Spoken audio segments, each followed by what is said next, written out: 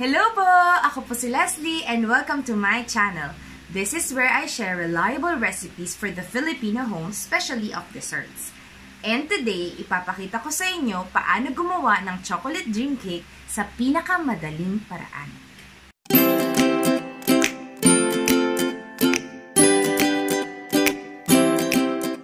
Super trending ang chocolate dream cake ngayon. Sa mga hindi pa po nakakaalam, isa itong klase ng cake na merong 5 layers of chocolate goodness at nakalagay sa isang 6-inch can. Ang first layer ay gawa sa chocolate cake na maaaring sponge or moist. Ang second layer ay gawa sa chocolate custard or chocolate goo. Ang pangatlong layer ay gawa sa chocolate ganache.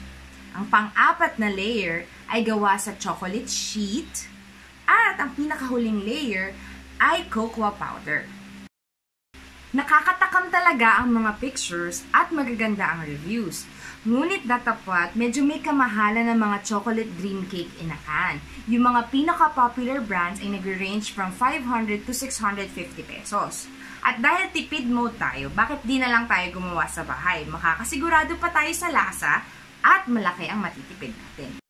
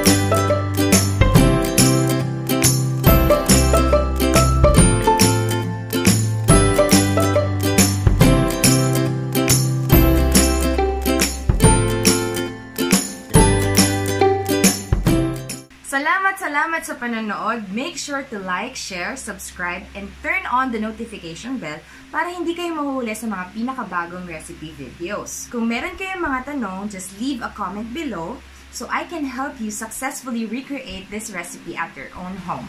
I-follow nyo rin ako sa Instagram at sa Facebook at Fully Freely Leslie and itag kapag ginawa ninyo ang recipe na ito. Bye! Sa uulitin!